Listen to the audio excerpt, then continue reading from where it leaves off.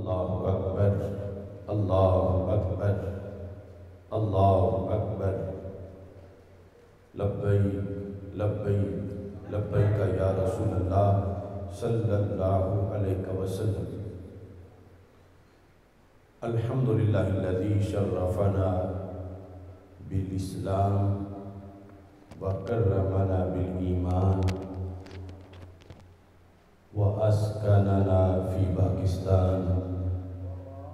والصلاة والسلام على حبيبه سيد الإنس والجان وعلى آله وأصحابه في كل حين وآن.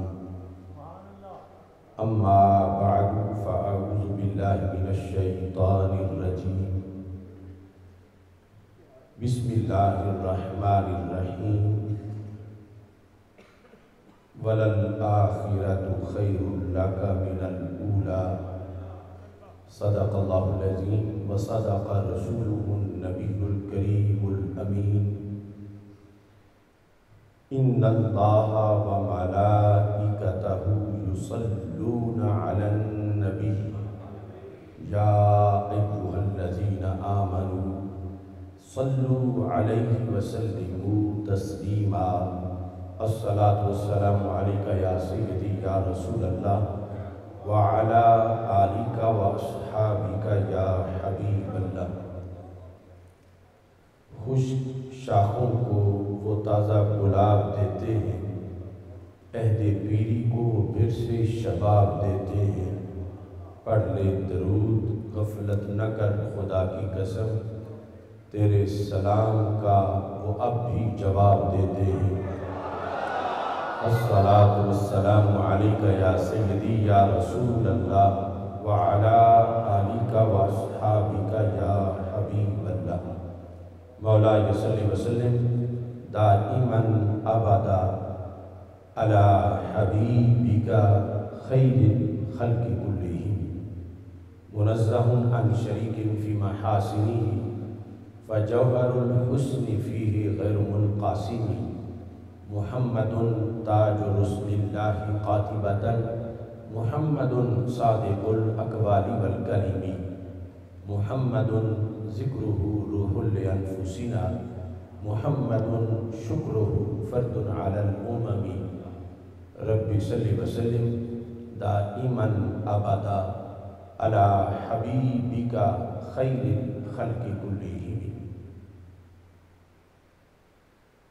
اللہ تبارک و تعالی جل جلالہ وعم نوالہ واتم برہانہ وعظم شانہ وجل ذکرہ وعز اسمہ کی حمد و ثناء اور حضور سرور کائنات مفخر موجودات زینت بزم کائنات دستگیر جہاں غم گسار زمان سید سرفران حامین بے قسام قائد المرسلین خاتم النبیین احمد مجتبہ جناب محمد مصطفیٰ صلی اللہ علیہ وآلہ وآصحابہ وبارک وسلم کے دربار نور بار میں ہدیہ درود السلام عرض کرنے کے بعد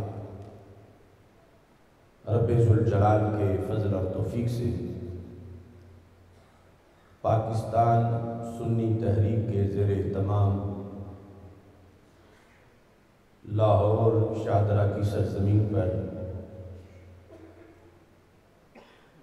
سایہ خدائے ذوالجلال کانفرنس میں ہم سب کو شرکت کی سعادت حاصل ہو رہی ہے۔ سٹیج پر پاکستان سنی تحریک کے مرکزی رہنما، محترم مولانا محمد شاداب رضا نقشبندی صاحب، زیدہ شرفو اور حضرت مولانا محمد شریف الدین قذافی صاحب، دیگر علماء کرام، جلوہ گر ہیں۔ میری دعا ہے خالق کائنات جلہ جلالہ اس متبرک کاوش کو اپنے دربار میں قبول فرمائے۔ اور خالق کائنات جلہ جلالہ، ہم سب کو پاکستان کے اسلامی تشخص پر پہرا دینے کی، اس کی جغرافیائی اور نظریاتی سرحدوں کی حفاظت کی توفیق عطا فرمائے۔ اسلام کی حقانیت، اسلام کی جامعیت اور سب پر، تمام ادیان پر جو اسلام کی فضیلت ہے، اس میں ایک مستقل باب اسلام کا نظریہ ملک اور نظریہ حکومت ہے۔ سید عالم نور مجسم شفیع معظم صلی اللہ علیہ وسلم نے اعلان نبوت کے بعد مکی زندگی میں عقائد اور اس کے ساتھ عبادات کے موضوعات پر تبلیغ فرمائی اور اس کے بعد مدنی زندگی میں عبادات میں اضافہ کے ساتھ ساتھ معاملات اور نظام سلطنت۔ ان موضوعات کو اپنی تبلیغ کا خصوصی موضوع بنایا۔ اسلام کے یہ موضوعات یقیناً طے شدہ ترتیب پر ہی چل رہے تھے۔ لیکن باطل قوتیں اسلام کے بارے میں ابتدائی طور پر ان کا نظریہ کچھ اور تھا اور بعد میں ان کا نظریہ کچھ اور بنا، جس کی وجہ سے ان کی پالیسی میں واضح طور پر تبدیلی آئی۔ ابتدائی طور پر ابو جال کے نظام جاہلیت کا یہ خیال تھا کہ یہ جو دین حضرت محمد مصطفیٰ صلی اللہ علیہ وسلم لائے ہیں، اس میں دو ہی چیزیں ہیں۔ عقائد کی تعلیم ہے اور عبادات کی تعلیم ہے۔ اور اس میں ان کے عقیدے میں بتوں کو خدا نہیں مانا جا سکتا، اسے شرک قرار دیا گیا ہے۔ اور پھر عبادت کے لحاظ سے بھی بتوں کو سجدہ، کفر قرار دیا گیا ہے۔ یہ چیزیں آپس میں بڑے اختلاف کا باعث تو تھیں، مگر اس کے نتیجے میں کوئی ایک جنگ بھی مکہ مکرمہ میں نہ لڑی گئی۔ تشدد کے واقعات ہوئے۔ قریش سے یہ موضوعات بھی برداشت کرنا ان کے لیے مشکل پڑا تھا، مگر انتہائی اقدام پر وہ تیار نہ ہوئے کہ راتوں رات اٹھ کے ان کو معاذ اللہ سب کو شہید کر دیا جائے اور یوں دین اسلام کو ختم کر دیا جائے۔ اس حد تک وہ نہ پہنچے۔ اگرچہ وہ شدید قسم کے دشمن تھے، لیکن ان کا یہ خیال تھا کہ یہ بتوں کے خلاف ہیں۔ ہمارا جو اقتدار ہے بت پرستوں کا، اس اقتدار کو ان سے کوئی خطرہ نہیں۔ یہ عبادت بے شک اپنے رب کی کرے۔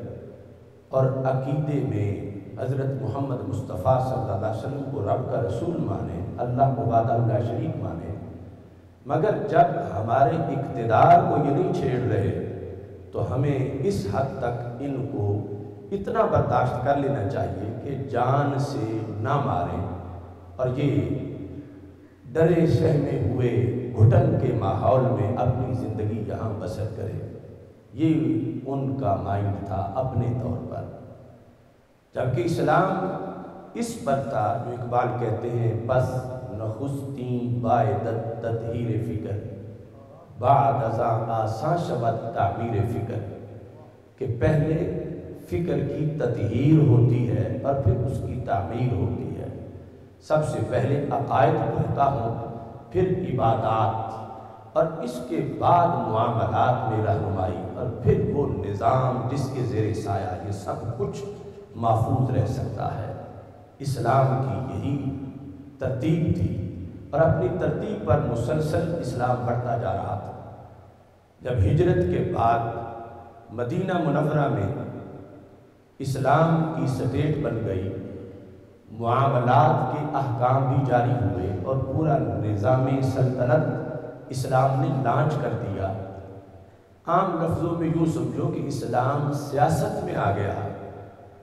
اب آ کر قریش کی سوچ میں تبدیلی آئی کہ یہ صرف مسجد والے نہیں ہیں۔ یہ تو مسجد سے باہر بھی ایک نظام لے آئے یہ صرف سجدے والے نہیں ہیں کہ اللہ کو سجدہ کریں اور اس پر بس کریں یہ تو اس عرب میں ایک نظام کی تبدیلی لائے فیصلے اب ہمارے نہیں ہوں گے۔ فیصلے رسول عربی حضرت محمد مصطفیٰ صلی اللہ علیہ وسلم کے ہوں گے۔ بازار میں جو تجارت کی پالیسی ہے وہ ہماری نہیں چلے گی، وہ ان کے قرآن کی چلے گی۔ اور یہ تو ایک پورا اول سے آخر تک، عقیدے سے نظام تک ایک پورا اپنا لاہ عمل لے آئے ہیں۔ لہٰذا اب ہماری بقا کی کوئی سبیل نہیں، جب تک کہ ہم ان کا معاذ اللہ مکمل خاتمہ نہ کریں قرآن مجید میں ہے بلزین آمن اشد حب للہ، کہ ایمان والے جتنا اپنا اپنے رب سے پیار کرتے ہیں، بتوں کے پجاری بتوں سے وہ پیار نہیں کر سکتے۔ اب مکہ مکرمہ میں جب ان کے بتوں کے سجدے مارے گئے، اگر ان کی محبت اپنی انانیت اور چدراہٹ سے زیادہ اپنے بتوں سے ہوتی، تو اس وقت ان کی دم کو آگ لگ جاتی کہ ہمارے بتوں کو سجدے نہیں ہو رہے، لہذا جو نہیں کرتے ہم ان کو اس زمین پہ زندہ نہیں رہنے دیں گے۔ اس وقت انہوں نے برداشت کر لیا کہ سجدے بے شک یہ اپنے رب کو کریں، ہمارے بتوں کو نہ کریں، مگر ہمارے نظام کو نہ چھیڑے راج ہمارا ہوگا، اقتدار ہمارا ہوگا۔ لیکن اسلام نے مدینہ منورہ میں جب راج قائم کر لیا، اقتدار اسلام نے نافذ کر دیا۔ اب ضرب لگی ابو جہل کی چندراہٹ کو۔ اب جاہلی اقتدار کو جب ضرب لگی، تو اب انہوں نے کہا کہ یہ تو بہت بڑا خطرہ ہے، انہیں ہر حال میں روکنا ہوگا۔ اور اب انہوں نے جنگ کا سوچا اور فوج اکٹھی کی، فنڈ اکٹھا کیا اور دور جا کر چل کے سفر کر کے معذ اللہ مسلمانوں کو مدینہ منورہ میں ختم کرنے کے جذبے سے وہ گھر سے نکل رہے تھے۔ یہی مسلمان تھوڑے بھی تھے اور محلے دار بھی تھے۔ اور جو دشمن جب تھوڑا ہو اسے مٹانا آسان ہے۔ جب ان کی قوت بڑھ جائے تو پھر مٹانا مشکل ہے۔ دشمن جب قریب ہو تو پھر ان پر حملہ آسان ہے۔ جب وہ دور چلے جائیں ان پر حملہ مشکل ہے۔ تو کیا وجہ تھی کہ جب مسلمان تھوڑے بھی تھے اور قریبی تھے، مثلا صرف تیس تھے یا چالیس تھے یا پچاس تھے، اس وقت ابو جال کی یہ زہریلی سوچ کیوں نہ آئی کہ راتوں رات اٹھے اور ہیں ہی سارے تیس، ان کو ہم ختم کر دیں۔ اور جانا بھی دور نہیں پڑنا، ساتھ ہی تو محلے میں موجود ہیں۔ اس وقت یہ سوچ نہ آئی۔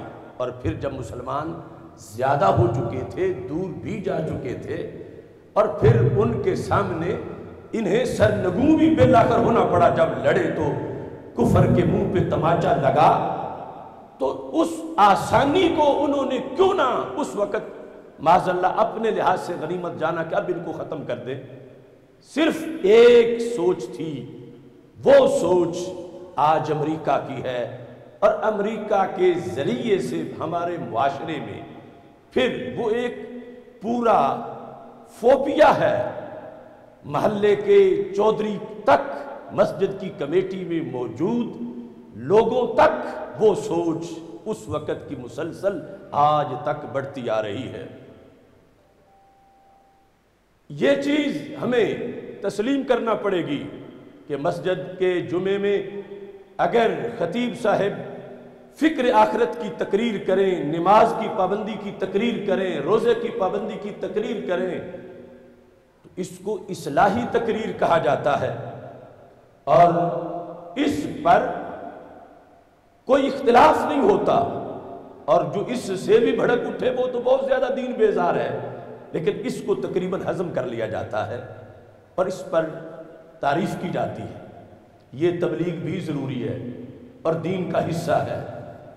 لیکن اسی ممبر سے جب یہ کہا جائے کہ یہ پاکستان بیس لاکھ شہیدوں کے خون پہ بنا ہے اور بنا اس لیے تھا کہ اس کے ایوان میں قرآن ہونا چاہیے اور چور ڈاکو لٹیرے، اچکے کرپٹ لوگ کیسے ایوان میں قرآن لا سکتے ہیں؟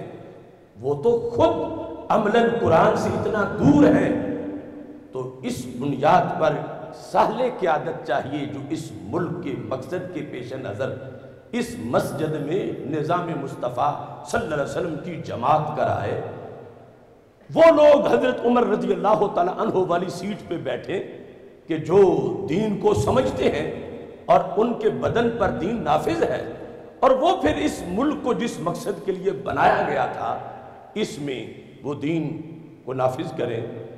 اب کئی لوگوں کو اس پر تکلیف ہوتی ہے کہ مولوی کا یہ کیا کیا ہے کہ وہ پارلیمنٹ کی بات کرتا ہے، وہ نظام حکومت کی بات کرتا ہے، وہ نظام سلطنت کی بات کرتا ہے۔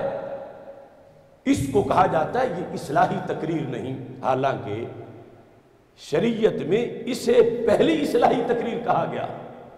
السیاست القیام علی الشیء بما یسلحہ یہ ہے تعریف سیاست کی کہ اس طرح کسی چیز کے ساتھ رویہ رکھنا کہ جس میں اس کی اصلاح ہو، بگاڑ نہ ہو، جس طرح زمین میں فساد نہ ہو اور امن آئے، وہ سیاست ہے۔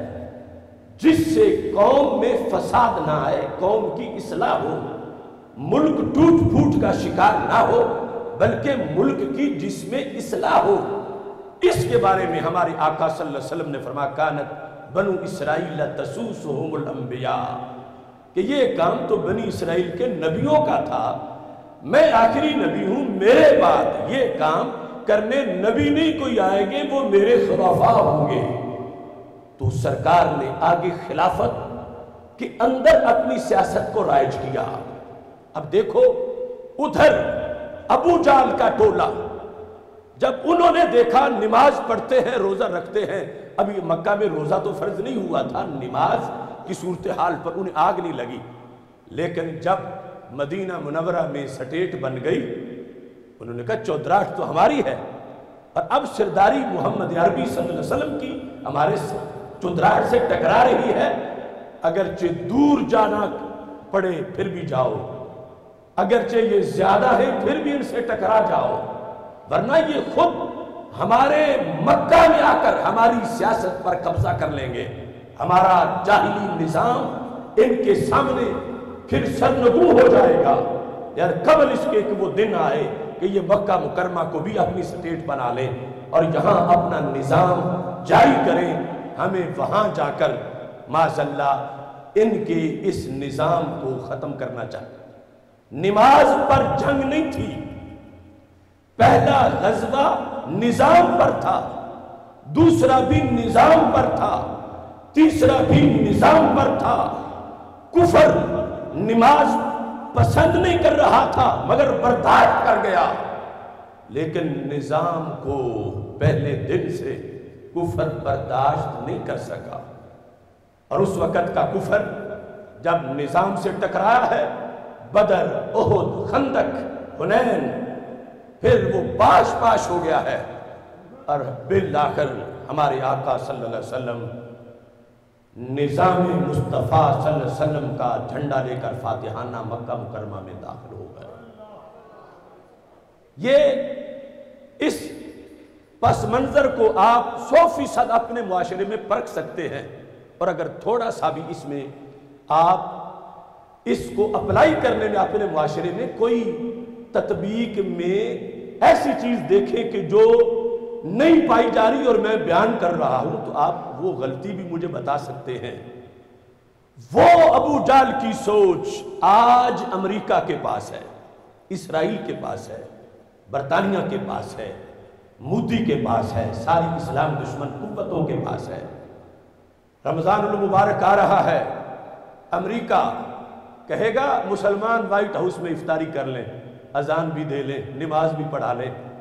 وائٹ ہاؤس میں بھی نماز برداشت ہے، مگر نظام پاکستان میں بھی برداشت نہیں۔ وہ نظام جو مدینہ منورہ میں ہمارے آقا صلی اللہ علیہ وسلم لائے تھے، وہ نظام جب اس کا تم صرف نعرہ ہی لگاؤ، تو ادھر سے وہ کہتے ہیں there is no order but our order and our order is new world order کہ پوری دنیا کا نظام ہم نے چلانا ہے۔ تم مسجد میں نماز پڑھو، روزہ رکھو، مگر اوپر نہ دیکھو۔ آرڈر ہمارا ہے، نظام ہمارا ہے، راج ہمارا ہے، اقتدار ہمارا ہے۔ نماز برداشت ہے، لیکن تمہارا نظام، لانا تو دور کی بات، اس کا نعرہ بھی ہم برداشت نہیں کریں گے۔ نظام کی بات نہ کرو۔ اگر کرو گے تو پھر تم ٹیرسٹ ہو۔ انتہا پسند ہو، دہشت گرد ہو، سارے تانے تمہیں سننے پڑیں گے۔ تو جو سوچ ابو جال کی تھی، نظام کفر اس وقت کا تھا کہ نماز کے ہوتے ہوئے ایک غزوہ بھی نہیں ہوا کہ نماز لے آئے ہیں، لیکن جو ہی نظام آیا ہے تو پھر غزوے پہ غزوہ ہوا ہے۔ اور بالآخر نظام فاتح بنا ہے۔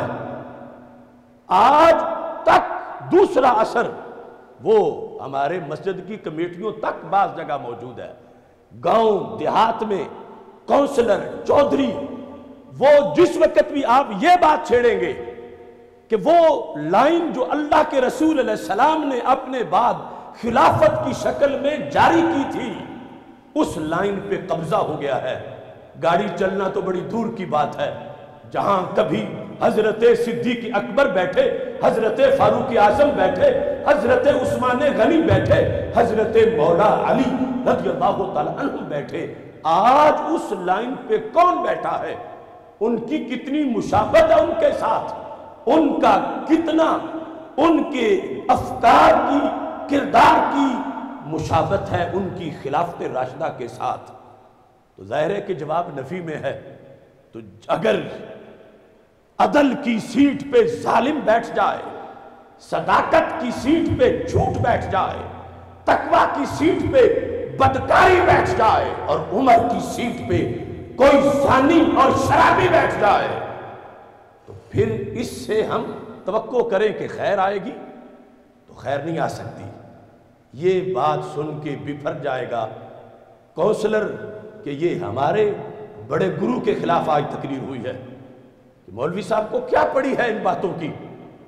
تو جس چیز پر ابو جال کی دم کو آگ لگی اور جس پر امریکہ جو ہے وہ بفر جاتا ہے، کیا وجہ ہے کہ اسی چیز پہ ہمارا چودری بھی بفر جائے، ہمارا کونسلر بھی بفر جائے، ہمارے ماحول کے لوگ جو ناتخانی بھی کرا لے، جو فکر آخرت کی تقریریں بھی کرا لے، سب کچھ برداشت ہو۔ لیکن جب خلافت والی سیٹ پر قبضہ گروپ کے مظالم کا تذکرہ ہو، اس وقت وہ کہیں یہ اصلاحی تقریر ہی نہیں۔ حالانکہ یہ بھی تو اصلاحی تقریر ہے۔ عقیدے کی اصلاح برقرار تب رہتی ہے جب ملک کی اصلاح، جو چوتھا سبق تھا ہمارے نبی علیہ السلام کا، جس نے سب کچھ پھر محفوظ کیا۔ اور اس حد تک ہمارے آقا صلی اللہ علیہ وسلم نے یہود کے پاس جا کر انہیں اس انداز میں تقریر فرمائی۔ چار جگہ بخاری میں حدیث موجود ہے۔ کیا فرمایا؟ وَعْلَمُوا أَنَّ الْأَرْضَ لِلَّهِ وَلِرَسُولِ جان لو یہود، یہ تم جہاں اپنے گھر بنا کے بیٹھے ہو اور کھیتیاں تم نے کاشت کی ہوئی ہیں، یہ زمین تمہارے باپ دادا کی نہیں ہے، یہ خدا کی ہے، خدا کے مصطفیٰ کی ہے۔ صلی اللہ علیہ وسلم۔ للہ والے رسول یہ ہے نظریہ ملک اسلام میں۔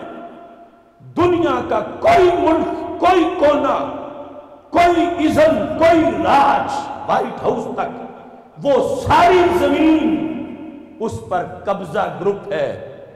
اور ہمیں ہمارے نبی علیہ السلام نے فرمایا، تم میرے وارث ہو۔ زمین تمہارے خدا کی ہے، تمہارے نبی کی ہے۔ اور جو ان کا کلمہ پڑے زمین پھر اس کی ہے۔ باقی سب قبضہ گروپ ہے، تو اسلام میں جو فتوحات کا نظریہ ہے، ہرگز یہ نہیں کہ اسلام قبضہ کر لیتا ہے، چھین لیتا ہے، لوگوں کو ان سے ان کی جائیدادیں چھینتا ہے۔ نہیں، اسلام چھینتا نہیں۔ اسلام تو ناجائز قبضہ گروپ کا قبضہ توڑتا ہے۔ کہ زمین ہے اللہ کی اور اللہ کے رسول صلی اللہ علیہ وسلم کی۔ اور اس زمین پر راج اور نظام انہی کا چلے گا۔ یہ تحریک ہے پاکستان کے حصول کی تحریک، جو فاران کی چوٹی پہ کھڑے ہو کر ہمارے آقا صلی اللہ علیہ وسلم نے نظریہ دیا تھا کہ دین زمین چاہتا ہے، کارخانہ، فیکٹری، فصل، یہ ساری چیزیں ثانوی ہیں۔ اصل زمین دین کے نظام کی ہے۔ للہ والے رسولی۔ اللہ کی ہے اور اللہ کے رسول صلی اللہ علیہ وسلم کی ہے کہ ان کی مرضی کے خلاف زمین پہ کچھ نہ ہو۔ یہ مشن تھا بر صغیر کے مسلمانوں کا جو صدیوں چلا۔ آوائل میں وہ محمد بن قاسم ہو یا محمود غزنوی ہو، وہ بابا فرید ہو یا داتا گنج بخش ہو، وہ خواجہ غریب نواز ہو یا مجدد الفیسانی ہو، وہ امام فضل خیر آبادی یا امام احمد رضا بریلوی ہو، سارے کے سارے اسی مشن کے سپاہی تھے کہ ہم نے یہاں صرف کلمہ ہی نہیں پڑھانا، زمین کا غاسبانہ قبضہ بھی ختم کروانا ہے۔ اور نتیجہ تن آخری تین صدیوں میں پاکستان کے لیے وہ جد و جہد ہوئی کہ جس کے نتیجے میں رب کے فضل سے مدینہ منورہ کے نظریے پر دوسری سلطنت جو روئے زمین پہ بنی، اسے ہی سایہ خدائے ذوالجلال کہا جاتا ہے۔ اتنا بڑا اس کا فلسفہ ہے کہ پیچھے وہ حجاز مقدس کے اندر رسول پاک صلی اللہ علیہ وسلم کا جو نظریہ تھا اور ختم نبوت اور قرآن کی حکومت کے لحاظ سے جو لاہ عمل تھا، اس کی تلاش تھی ہمارے اکابر کو وہ چوٹی کے ولی تھے، مجدد تھے ان میں ان میں مسلحین تھے، ان کے ممبروں پر یہ تقریر تھی کہ دین دین کو زمین چاہیے۔ آئے ہوئے دین کو اس زمین پر نافذ کرنا ہے۔ اس مقصد کے لیے پاکستان مارز وجود میں آیا، پاکستان بنا۔ اور یہ نظریہ ہے پاکستان کا کہ آج اس کا انکار کر کے اگر کوئی چاہتا ہے کہ وہ پاکستان کو محفوظ رکھ سکے، تو یہ سوائے پاگل پن کے کچھ نہیں۔ جس بیس پر پاکستان لیا گیا تھا، وہی بیس سامنے ہوگی تو پھر بچے گا۔ کہ پاکستان کا مطلب کیا؟ لا الہ الا اللہ۔ قانون ریاست کیا ہوگا؟ محمد رسول اللہ صلی اللہ علیہ وسلم۔ اور اگر آج کہے کہ یہ مذہب کی بیس پہ نہیں بنا سب کا ایک جتنا ملک ہے سب کا ایک جیسا ہے۔ تو یہ بیس لاکھ شہیدوں کے خون سے غداری ہے۔ ان میں ایک بھی بت پرست نہیں تھا کہ جو کسی بت کی خوشنودی کے لیے جان دے رہا ہو کہ ہم نے بتوں کے لیے دیش لینا ہے۔ وہ بیس لاکھ شہید وحدہ لا شریک رب ذوالجلال کی توحید پر اور خاتم النبیین حضرت محمد مصطفیٰ صلی اللہ علیہ وسلم کی ختم نبوت پر اتنا یقین رکھ رہے تھے کہ اپنے نیزوں پہ بچے اچھلتے دیکھ لیے، مگر پاؤں پیچھے نہیں ہٹایا کہ دل میں جذبہ تھا کہ ہم نے روئے زمین پہ ایک مسجد بنانی ہے، جس میں تاجدار مدینہ صلی اللہ علیہ وسلم کے نظام کو نافذ کرنا ہے۔ یہ ہے انفرادیت اس ملک کی اور اس کے تحفظ کا یہ نظریہ ہے، اگر اس بیس کو ختم کر دیا جائے تو پھر یہ درمیان میں جو بارڈر ہے، اس کی کوئی حیثیت نہیں ہے۔ اور اگر مذہب کی بیس کو سامنے رکھیں تو بارڈر بیس لاکھ کلیجے جوڑ کے بنایا گیا ہے۔ پھر اس کی بڑی حیثیت ہے۔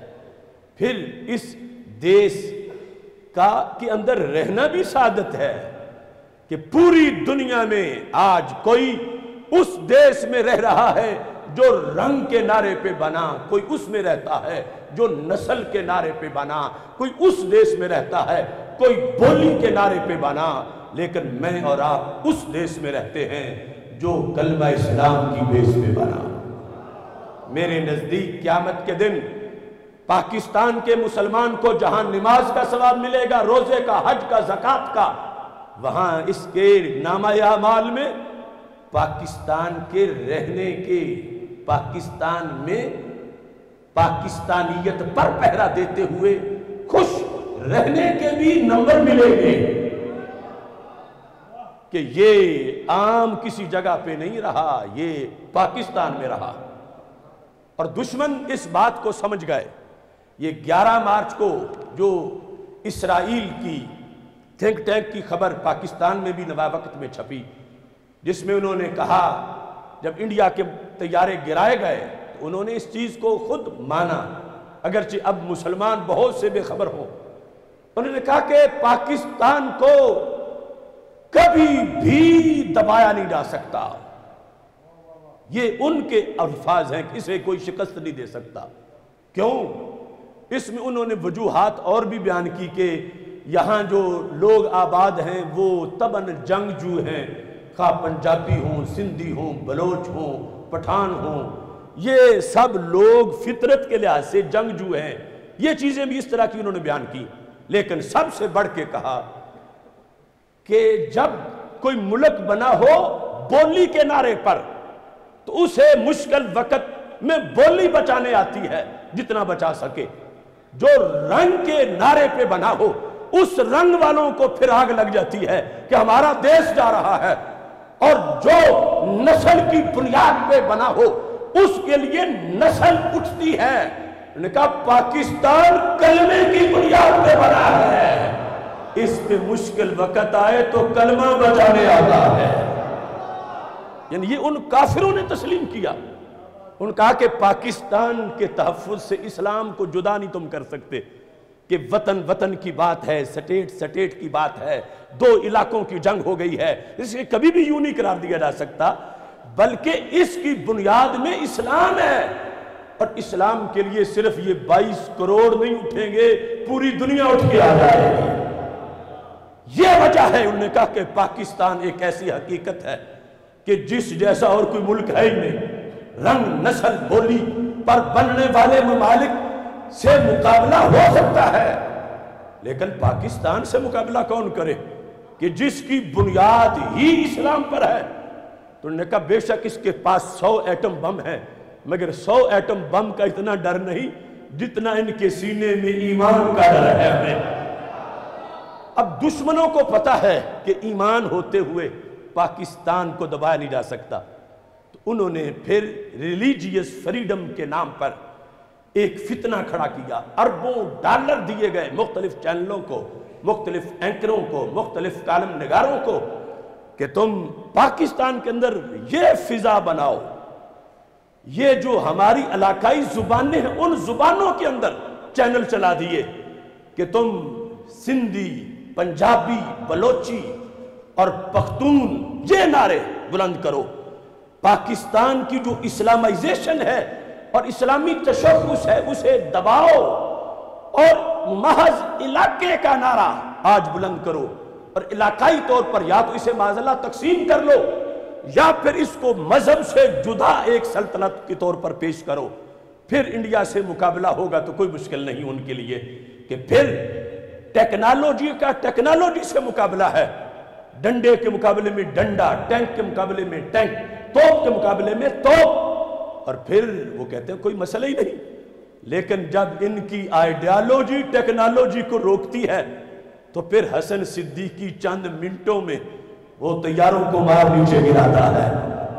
ہماری ٹیکنالوجی کا تو وہ مقابلے کا سوچتے ہیں، مگر ہماری آئیڈیالوجی کا مقابلہ وہ مان گئے ہیں کہ نہیں ہو سکتا۔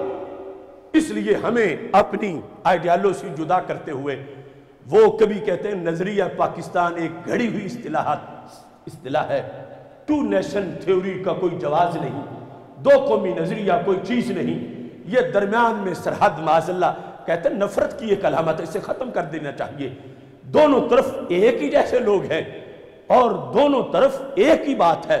حالانکہ ہمیں ہمارے آقا صلی اللہ علیہ وسلم نے فرمایا ہے، جنگ احد میں جب کفار نے نعرہ لگایا تھا لنل عزا ولا عزا لکم ہمارا عزا ہے اور تمہارا کوئی عزا نہیں ہے۔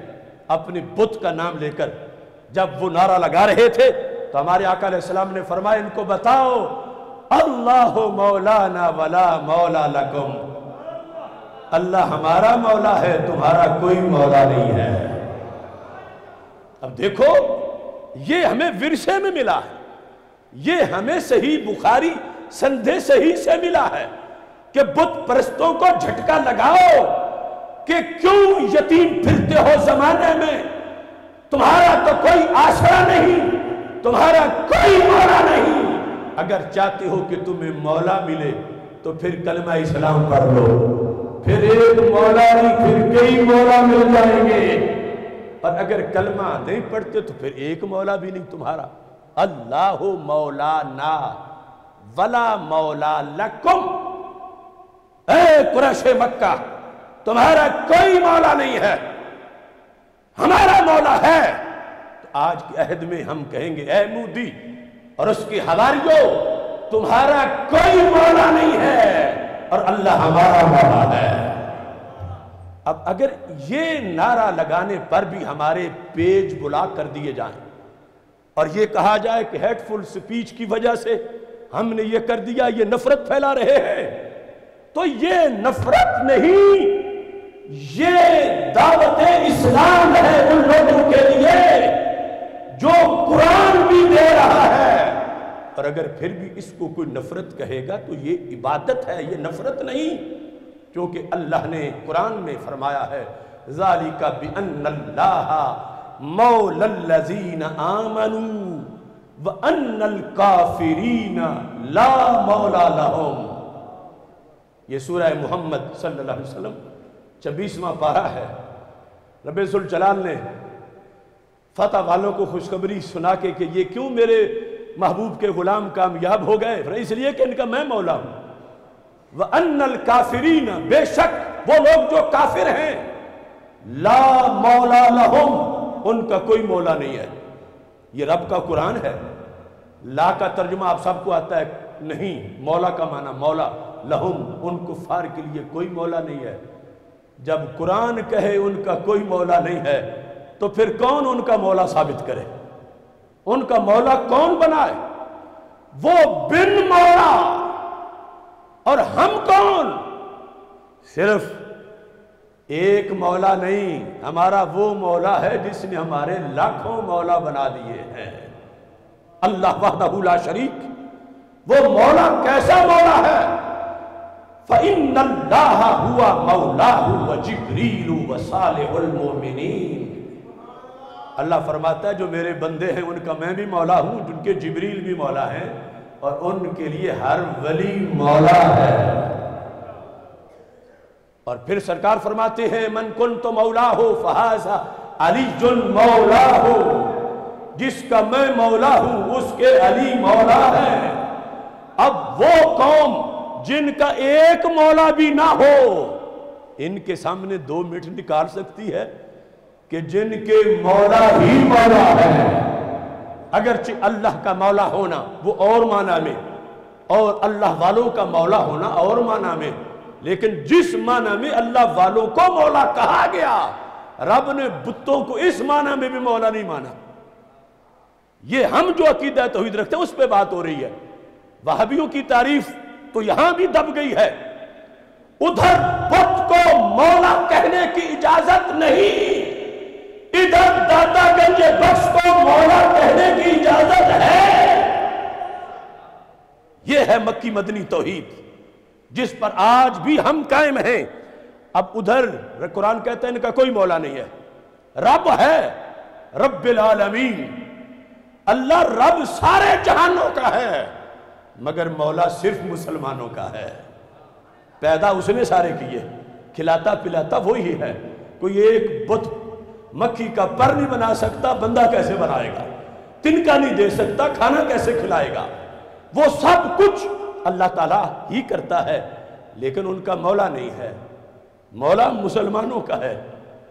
اور پھر جب ہم نے ساری آیات، احادیث کو دیکھا یہ مطلب ثابت ہوا کہ اللہ بھی ہمارا مولا، تاجدار ختم نبوت علیہ السلام بھی ہمارے مولا، صدیق اکبر بھی ہمارے مولا، فاروق اعظم بھی ہمارے مولا، عثمان غنی بھی ہمارے مولا مولا علی بھی ہمارے مولا، امام حسن بھی ہمارے مولا، امام حسین بھی ہمارے مولا، غوث اعظم بھی ہمارے مولا گنج بخش بھی ہمارے مولا، بابا فرید بھی ہمارے مولا، غریب نواز بھی ہمارے مولا مجدد الفیسانی بھی ہمارے مولا، امام احمد رضا بریلوی بھی ہمارے مولا۔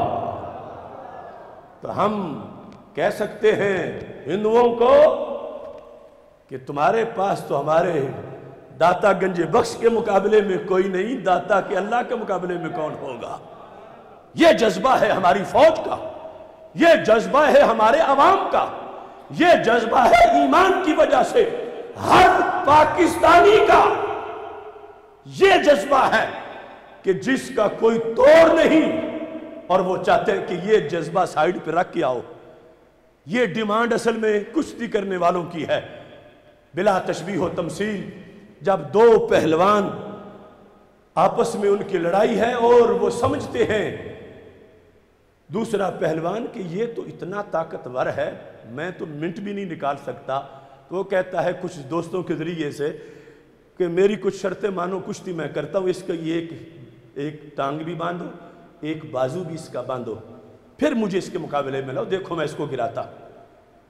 تو ٹانگ اور بازو باندھنے سے اتنا وہ پہلوان کمزور نہیں ہوگا جتنا پاکستان سے ایمان کو دور کرنے پر پاکستان کمزور ہو جائے گا۔ تو انڈیا کی یہ ڈیمانڈ ہے، امریکہ کے ذریعے کہلوا رہا ہے کہ پاکستان کے اسلامی تشخص کو سائیڈ پہ کر دو۔ یہ ایمان کے نعرے، یہ اسلام کے نعرے، اس سے ہٹ کر پاکستان ہو۔ تو پھر کوئی شے نہیں، ہم فوراً اس کو دبوچ لیں گے۔ ہم اتنی بار اس سے بڑے ہیں، لیکن ایمان ساتھ ہو تو پھر کھڑے بھی نہیں ہو سکتے سامنے۔ تو ہم اس پاکستان والے ہیں جو ایمان کے لیے بنا، ایمان کی وجہ سے بنا، ایمان کی حفاظت میں رہے گا۔ اور ہم اس پاکستان والے ہیں، نقش ہے جو دل پہ، وہ تصویر پاکستان ہے۔ جذبہ الفت کی ایک تعبیر پاکستان ہے۔ کون اب تسخیر کر سکتا ہے ارد عشق کو؟ مصطفیٰ کے نام کی جاگیر پاکستان ہے۔ ورنہ اپنے ملک سے ہر کوئی پیار کرتا ہے کہ یہ ہوم لینڈ ہے، یہ ہمارا وطن ہے، یہ ہماری ماتا دھرتی ہے۔ یہ تو مودی بھی کہتا ہے اپنے علاقے کے لیے۔ لیکن ہم پاکستان سے ان چیزوں کی وجہ سے پیار ثانوی حیثیت میں کرتے ہیں۔ یہ پیار ہمارا پہلا ہے کہ پاکستان کا نظریہ قرآن ہے۔ پاکستان ختم نبوت کا فیضان ہے۔ اور پاکستان کی حفاظت ہمارا ایمان ہے۔ اور اسی پر ہی پاکستان کا ہر دشمن پریشان ہے کہ یہ ایمان کا قلعہ ہے۔ ایمان کی وجہ سے بنا۔ آج کی کانفرنس بھی اسی مقصد کے لیے انعقاد پذیر کی گئی۔ میری دعا ہے رب ذوالجلال پاکستان سنی تحریک کی اس کاوش کو اپنے دربار میں قبول فرمائے۔ وآخر دعوایا ان الحمدللہ رب